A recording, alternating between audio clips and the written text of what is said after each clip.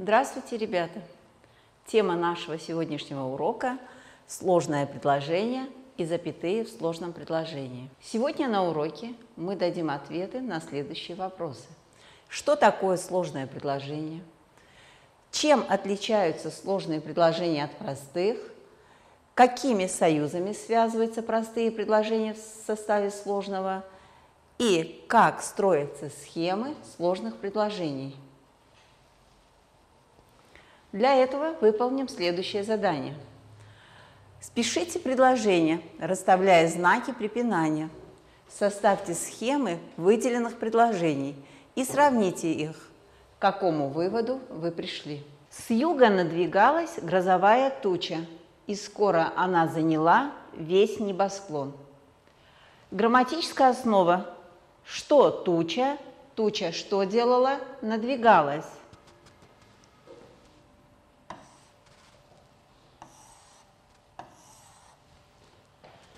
Что она? Она что сделала? Заняла.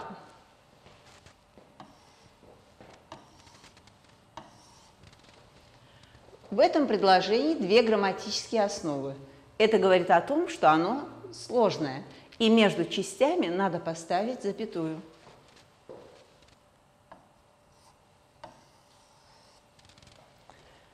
Ярко вспыхивали молнии, грохотал гром. Что молнии? Молнии что делали? Вспыхивали.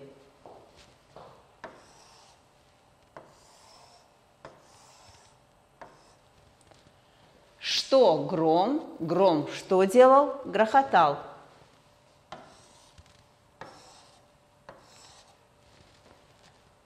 С вихрем и воем ринулся на землю ливень. Что ливень? Ливень что сделал? Ринулся.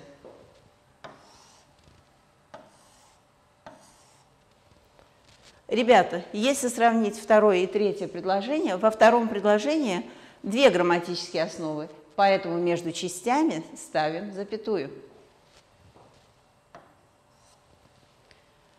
Третье предложение получилось простое, так как здесь одна грамматическая основа – ливень ринулся. Ну что же связывает союз «и»? Союз «и» связывает однородные члены предложения. Ринулся как с вихрем, это обстоятельство, и как воем.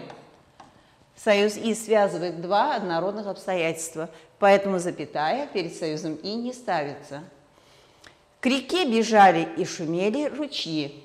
Что ручьи? Ручьи что делали? Бежали и шумели.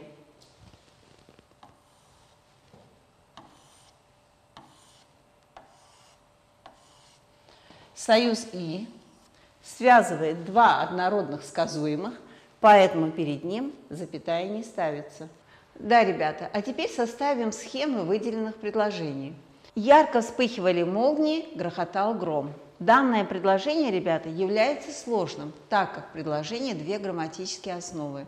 Схема данного предложения будет выглядеть так. Предложение мы обозначим прямоугольниками, а между ними поставим запятую.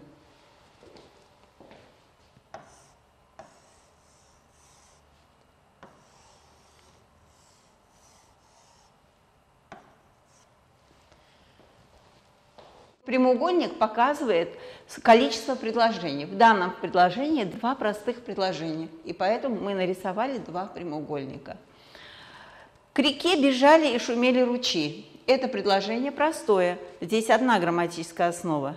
Ручьи что делали? Бежали и шумели. Поэтому схема будет выглядеть таким образом. Но для этого мы также подчеркнем слово «к реке». Бежали куда? К реке. Обстоятельства,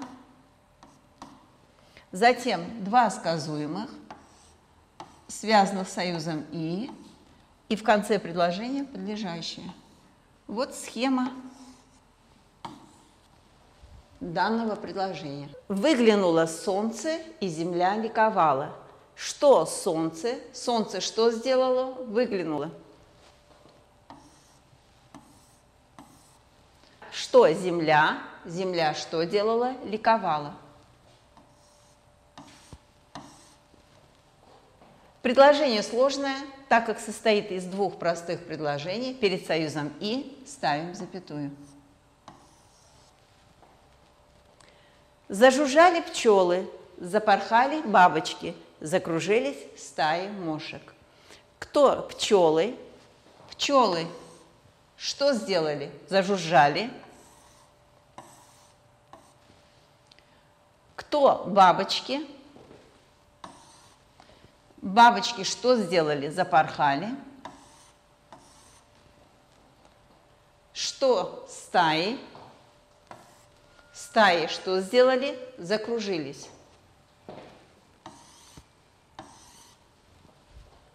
Это предложение состоит из трех простых предложений. Между частями ставим запятую.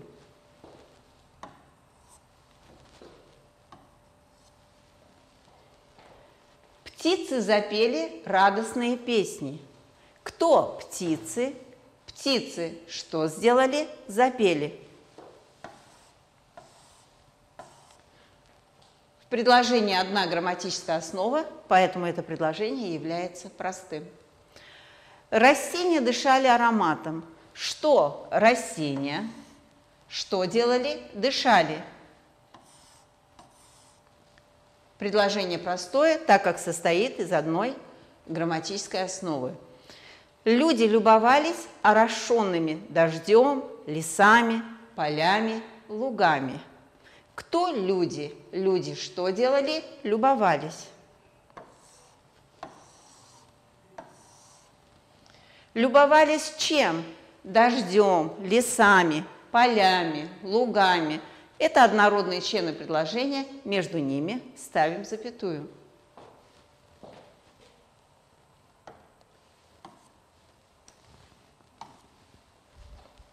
Итак, ребята, сделаем вывод. Если союз «и» связывает два простых предложения, тогда в этом случае мы ставим перед ним запятую. Если же союз «и» связывает однородные члены предложения – то между ними запятая не ставится. Проанализируем следующие предложения и составим к ним схемы.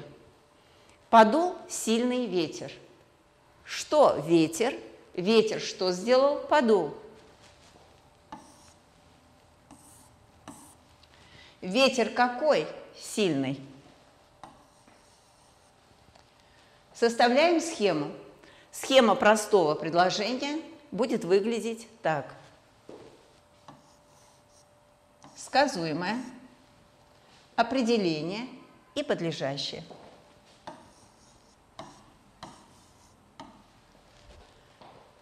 Подул сильный ветер и пошел дождь. Ветер подул, дождь пошел. Две грамматические основы, два простых предложения, поэтому предложение является сложным.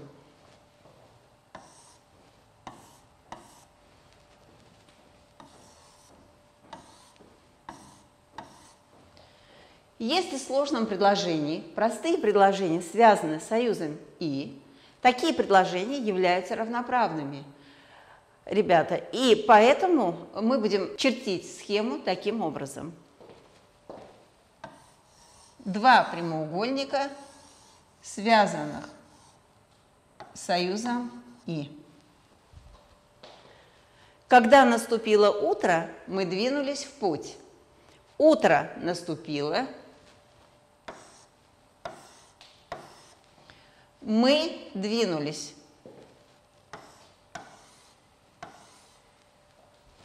Предложение также является сложным.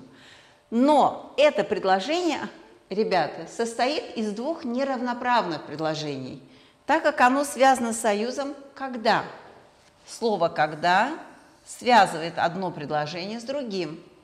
От одного предложения к другому можно задать вопрос. Мы двинулись в путь. Когда? когда наступило утро. Схема такого предложения выглядит так. Наверху мы указываем предложение, от которого задаем вопрос. Затем, ребята, мы видим предложение, которому мы задали вопрос, оно стоит перед ним. Поэтому мы спускаемся с левой стороны и рисуем еще один прямоугольник. И внутри указываем слово, которое связывает их. Это предложение связывается со словом «когда», союзом «когда». Сверкнула молния, послышался резкий звук грома. Молния сверкнула, звук послышался.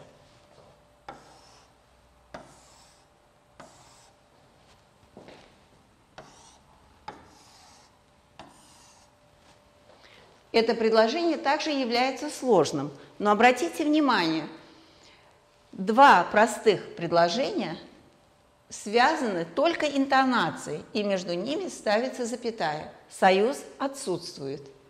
Такое предложение, ребята, называют бессоюзным сложным. Схема будет выглядеть так. Два прямоугольника, и между ними запятая. Итак, ребята, сделаем вывод. Сложные предложения отличаются от простых тем, что они состоят из двух или более простых предложений. Простые предложения в составе сложного могут связываться с помощью союзов и без союзов. Союзные предложения могут быть равноправными или неравноправными. Равноправными, когда мы не можем задать вопрос от одной части к другой. Неравноправных одно предложение зависит от другого. И от одного предложения к другому задается вопрос – а также сложные предложения могут быть бессоюзными. Обратите внимание на схемы. Если в сложном предложении простые предложения связываются с союзами «и», «а», «но», «да», «однако», «или», то схема выглядит таким образом. Если же в сложном предложении простые предложения связываются словами «когда», «что», «потому что», «так как», «если», «чтобы», Такие предложения являются неравноправными, и схема выглядит так. В этом случае вопрос задается от одного предложения к другому, которое стоит после него, а здесь вопрос задаем от предложения к тому предложению, которое стоит перед ним. Выполним следующее задание для закрепления. Спешите пословицы, расставляя знаки препинания. Составьте схему предложений. Гора с горой не сходится, а человек с человеком встретится. Прежде чем расставить знаки препинания, надо определить, какое это предложение – простое или сложное. Гора что делает? Не сходится. Человек что сделает? Встретится. Предложение является сложным. Перед союзом А ставим запятую.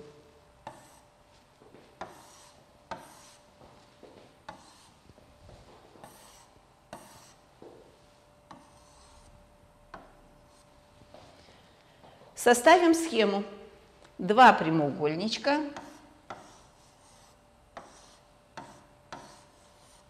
связаны союзом А.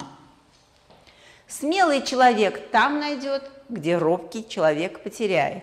Человек найдет, человек потеряет.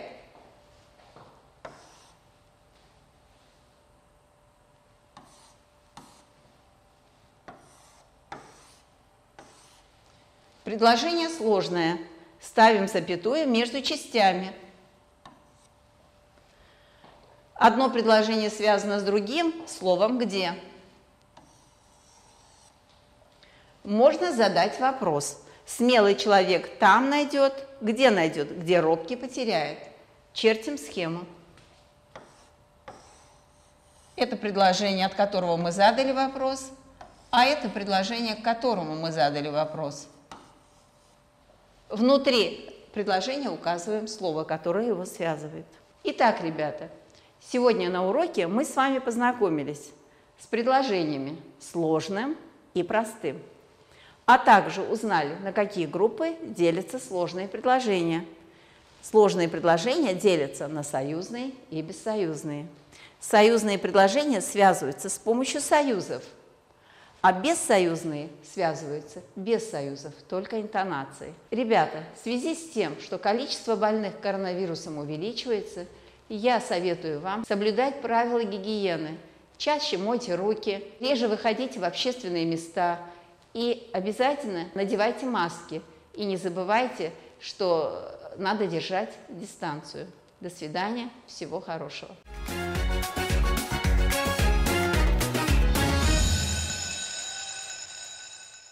Здравствуйте, дорогие шестиклассники! Тема сегодняшнего урока – совместные действия над обыкновенными и десятичными дробями. Давайте с вами рассмотрим задание номер один со страницы 39. При сокращении дроби x шестых на 2 получили дробь 2, деленное на y. Найдите значение x, y, если x и y – натуральные числа. Данное условие можно записать следующим образом. x деленное на 2 делить на 6 деленное на 2 равно 2 деленное на y. Отсюда очевидно, что у нас x равен 4, y равен 3. Следующее задание, которое мы должны с вами рассмотреть, это задание номер 3 со страницы 39. Нужно сократить следующие дроби. Первая дробь у нас 39 78. Для этого знаменатель дроби 78 мы можем представить в виде двух множителей. 39 умноженное на 2. Сократив числитель и знаменатель на 39, мы получаем дробь 1 вторую. Следующая дробь – это 777 444. Числитель можно представить в виде произведения множителей 7 и 111, а знаменатель можно представить в виде произведения множителей 4 и 111.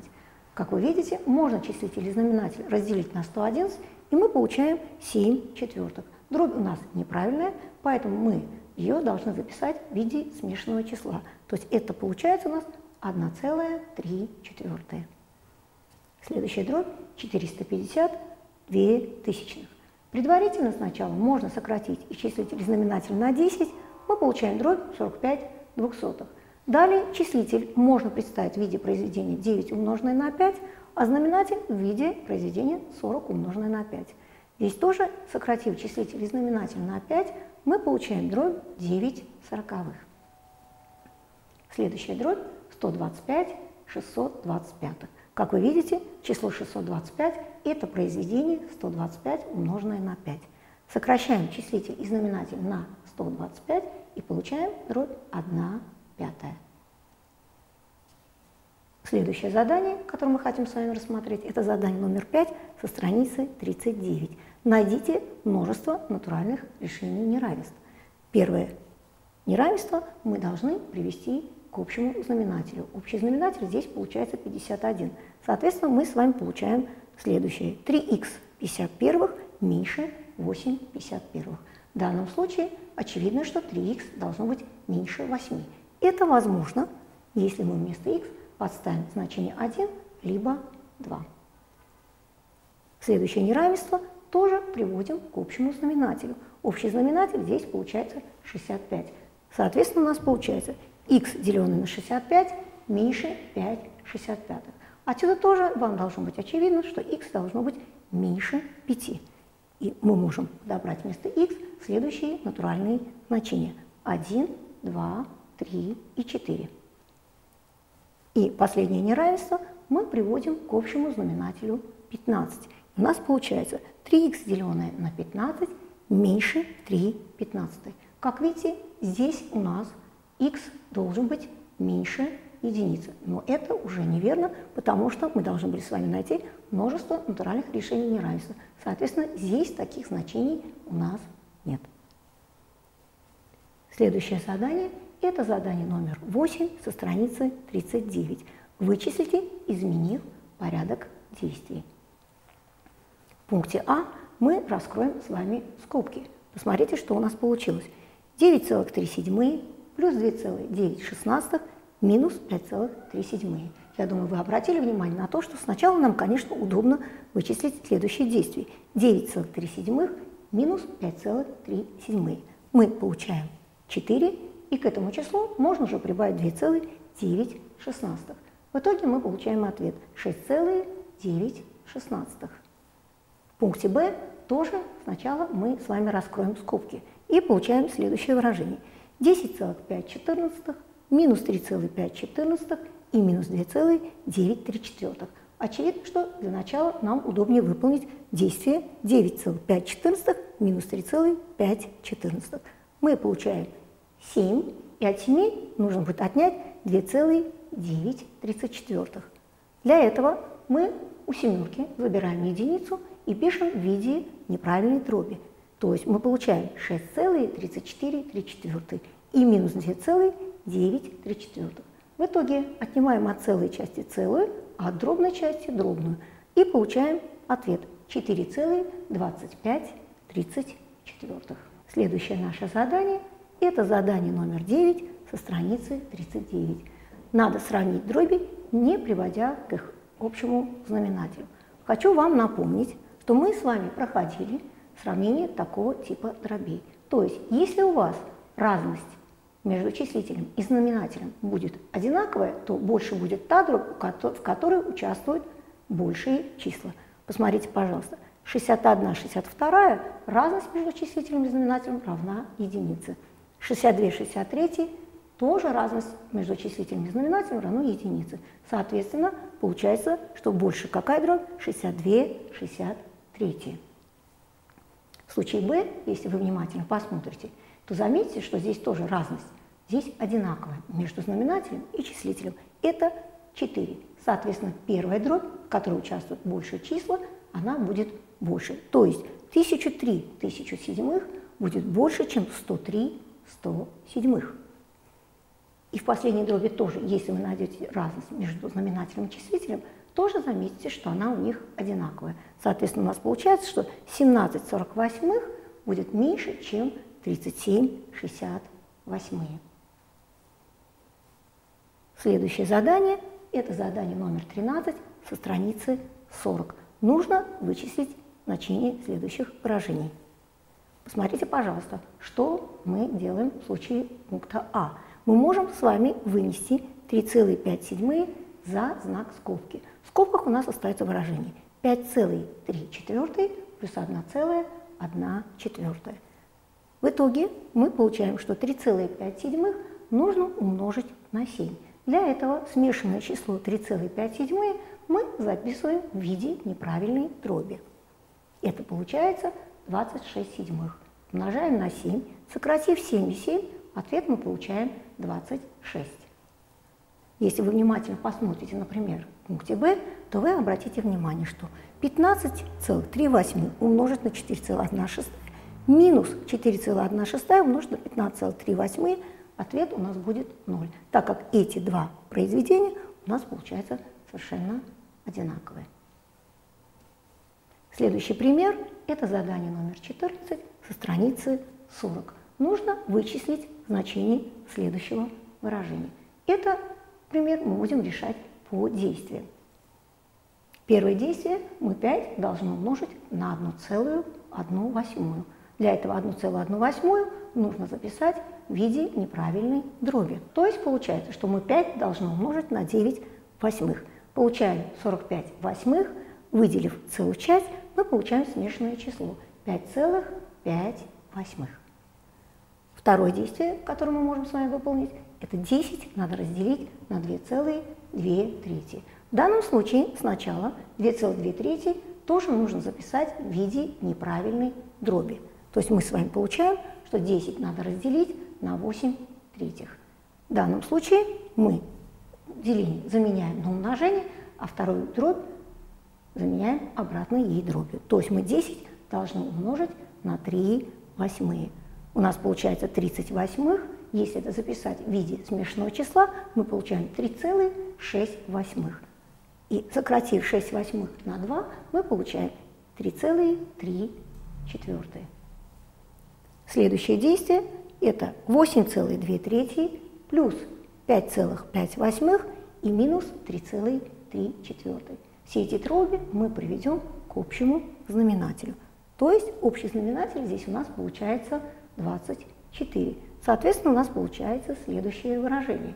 8,16 плюс 5,15 и минус 3,18 Целые части мы считаем отдельно, то есть 8 плюс 5 минус 3 мы получаем 10, дробные части вычисляем отдельно и получаем 13 24.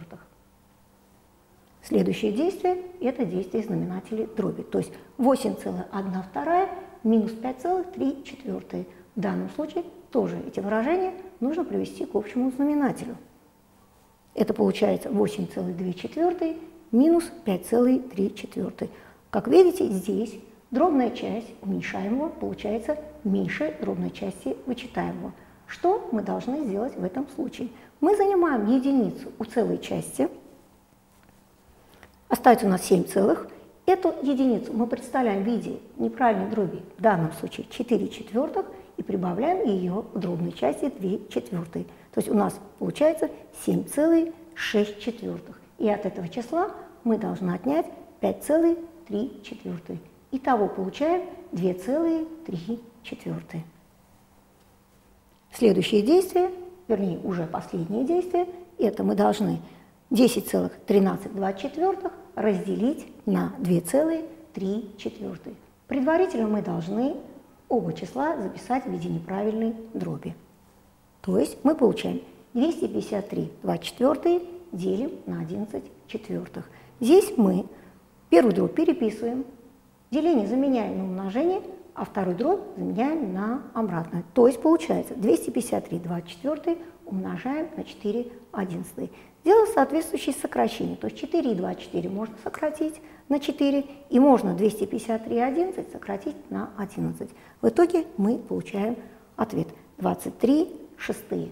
Выделив целую часть, мы получаем ответ 3,5 шестых. Следующее задание – это задание номер 15 со страницы 40. Нам нужно найти пропущенные числа. В пункте А первое действие, которое мы с вами должны выполнить, это 16,4 нужно разделить на 0,4. Это равносильно выражению 164, деленное на 4. Это равно 41. Далее 41 мы можем прибавить 9. Итого получаем 50.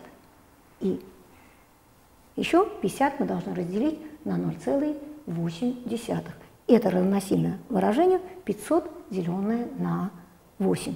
И ответ мы получаем 62,5.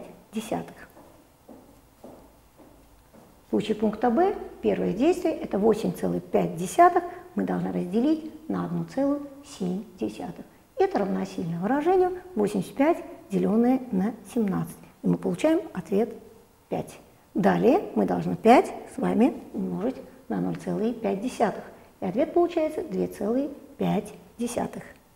И последнее действие 2,5 мы должны прибавить 17,5. Окончательный ответ 20.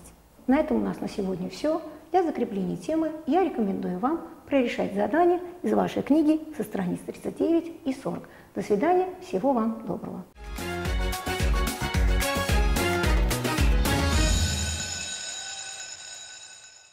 Здравствуйте, дорогие ребятки!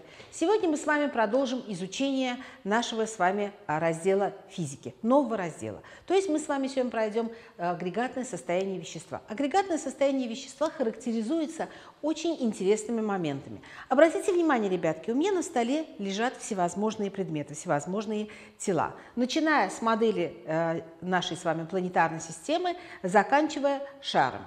Как вы думаете, как они между собой все связаны? Что общего между этими, э, так скажем, физическими телами? Общее то, что каждый из этих тел может находиться в одном из трех состояний – жидкое, твердое и газообразное. Жидкое состояние, газообразное состояние, здесь у меня газ, твердое состояние, то есть обратите внимание, здесь минералы всевозможные, существующие на поверхности Земли и в ее недрах, а также металл, дерево.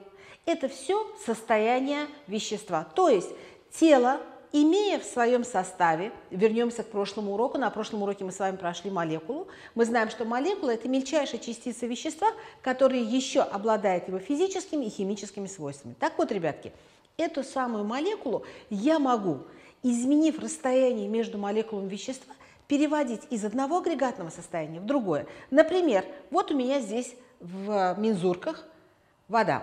Одна вода обычная, то есть при комнатной температуре взятая. Во второй колбе у меня подогретая, горячая вода. Обратите внимание, вот здесь на колбе у меня образовался небольшой туман, пар.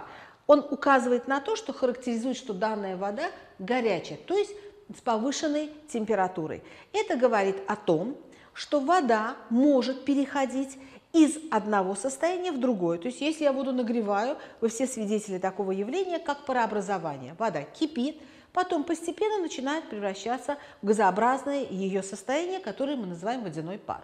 Это происходит в момент повышения температуры воды. То есть, что происходит на самом деле? Молекулы воды не меняются. Как была молекула H2O, так H2O и она осталась. Меняется расстояние между молекулами. Нагревая, нагревая воду, я увеличиваю расстояние между молекулами. Тем самым они начинают интенсивно двигаться, что приводит к образованию пара. В обратном случае, если я воду охлаждаю, я беру именно пример воды, он самый наглядный. Если мы будем с вами воду охлаждать, через какое-то время она превратится в ее твердое состояние, которое мы называем лед. Значит, переход опять же произошел из одного агрегатного состояния в другое. Под действием чего? Опять же, температуры. То есть я температуру не повысила, а понизила. Забрала у молекул их лишнюю энергию. Тем самым упорядочив их, они встали как бы вот в определенном порядке, создав кристаллическую решетку и дали нам такой вид твердого вещества. Так вот, запомните, ребятки, тела находятся в одном из трех агрегатных состояний. Какое? Первое – жидкое, твердое и газообразное. Естественно, что можно при помощи определенных воздействий переходить из одного агрегатного состояния в другое. Например, если э, нам нужно произвести какую-то металлическую деталь, мы обязательно кусок металла плавим, потом придаем ему форму и делаем из него там то, что нам необходимо в промышленности. Так вот, ребятки, перевод одного вещества в другое состояние, из твердого в жидкое, это называется плавление. Из жидкого в парообразное данное явление называется парообразование. Кстати, э, парообразование имеет две формы. Одна форма испарения, одна форма кипения. Например, э, мы с вами знаем, что сейчас у нас уже осень, и э, после того, как идут дожди, через какое-то время лужи, образовавшиеся после дождя, они подсыхают. То есть что происходит? Никто эти лужи не кипятит и не приводит к состоянию того, чтобы они превратились в пар. Они самопроизвольно испаряются. Вот это самопроизвольное превращение жидкости в газообразное состояние, происходящее при любой температуре, называется испарением. Это природное явление. Например, почему нам приходится чаще поливать цветы в засушливое время года, летом и так далее. Почему? Потому что происходит испарение воды под действием солнечной энергии, то есть под действием высокой температуры. Мы с вами знаем, что летом намного жарче, чем а, осенью и тем более зимой. Так вот, ребятки, давайте уточним, что же такое агрегатное состояние. Это состояние вещества, вызванное расстоянием между молекулами. Если расстояние между молекулами увеличивается, оно переходит на ступень парообразного, то есть газ. Если расстояние между молекулами уменьшается, то это у нас с вами будет твердое состояние. Давайте четко распределим, что такое жидкость, что такое газ и что такое твердое вещество. Так вот, ребятки, с вами мы только что ознакомились вот с этими минералами, твердыми веществами. Мы с вами видим, что каждый из них имеет определенный размер, определенную форму, ну и цвет соответственно. Соответственно, этому он имеет определенные физические свойства. Давайте уточним. Значит, твердые вещества, они имеют форму, объем. Жидкости имеют только объем. Если сейчас я воду перелью вот в этот стакан, а, эта вода примет форму вот этого конуса. То есть она имеет объем, жидкость имеет объем, но не имеет форму. А, жидкость принимает форму того сосуда, в который она налита. Что касается газа, газ не имеет ни формы, ни объема. Если сейчас мы сюда, в это помещение, впустим определенный газ, определенного объема, он займет все пространство. То есть это его свойство. Значит, газообразное вещество не имеет ни формы, ни объема и занимает весь предоставленный ему объем. Твердое вещество имеет и форму, и объем, жидкость имеет только э, объем, не имея формы. Каждый из этих параметров, ребятки, мы сейчас охарактеризуем и запишем на доске. Объем.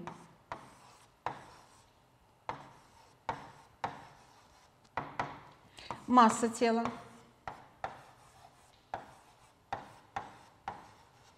И еще есть одна физическая величина, характеризующая вот как раз эти агрегатные состояния, называется плотность вещества.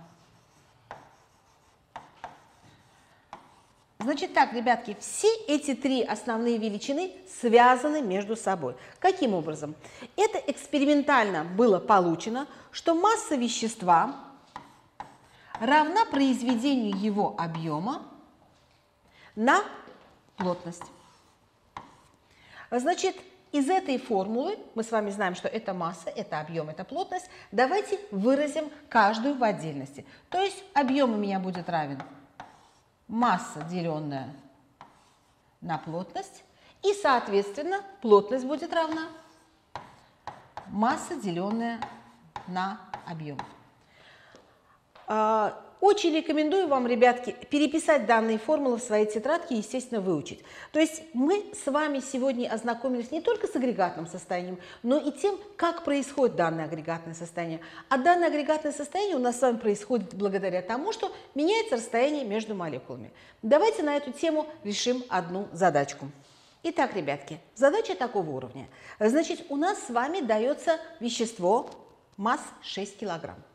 Плотность данного вещества равна 1000 кг деленной на кубический метр. Ребятки, плотность является табличной величиной. В свое время ученые все вещества, которые имеются на поверхности планеты Земля, было э, значит, вычислено их плотность экспериментальным путем. Не только имеющиеся на планете вещества, а также их химические соединения. Так вот, требуется найти объем, занимаемый данным телом. В первом случае мы обращаем внимание на единицы измерения – Килограмм, килограмм, метр в кубе. Все единицы измерения системе Си принадлежат, поэтому перевод мер делать не надо. Переходим сразу к написанию формул, то есть к графе решения. Пишем решение и записываем ту формулу, которая у нас с вами стоит под знаком вопроса. Под знаком вопроса у меня стоит объем. Значит, я записываю формулу, принадлежащую объему. m делить на ρ. Заглядываем в таблицу дано. Масса дается 6 килограмм, плотность дается 1000. Что делаем? Просто производим математические действия, делим друг на друга. И, но обратите внимание на единицы измерения. Вычисление. Значит так, ребятки, В у нас равно 6 килограмм делить на 1000 килограмм, деленный на метр куб. Теперь, смотрите, ребятки, килограмм с килограммом сокращаются, уходят по той простой причине, что они делятся друг на друга. Остается у меня метр в кубе, находящийся в знаменателе. Знаменатель из знаменателя он поднимается наверх, то есть мы задачу решаем правильно. 6 разделить на 1000, я получаю, что это у меня будет 0,6 метров в кубе. Вот так просто решается задача по физике. Самое главное в данном случае – обращать внимание на единицы измерения, на поставленные формулы. Ребятки, тема сегодняшнего урока очень хорошо описана в вашем параграфе. Это 11 э, параграф «Агрегатное состояние вещества». В конце параграфа есть ключевые слова и вопросы – на которые надо ответить в письменном виде в ваших тетрадях по физике. Мы с вами ознакомились тремя основными состояниями вещества. Это жидкое, твердое и газообразное. Эти состояния э, принимают все вещества, существующие на поверхности Земля. То есть мы узнали, что переход от одного состояния в другое происходит за счет увеличения или э, уменьшения температуры, то есть изменения температуры. Говоря о температуре, мы с вами сейчас э, вернемся к той теме, что мы находимся, работаем, учимся, живем в состоянии пандемии. Так вот, ребятки, моя рекомендация к вам. Пожалуйста, берегите себя, старайтесь не болеть, старайтесь, чтобы не, вам не приходилось измерять температуру. А для этого надо просто мыть руки, одевать маски и соблюдать социальную дистанцию. До свидания, увидимся еще, успехов вам!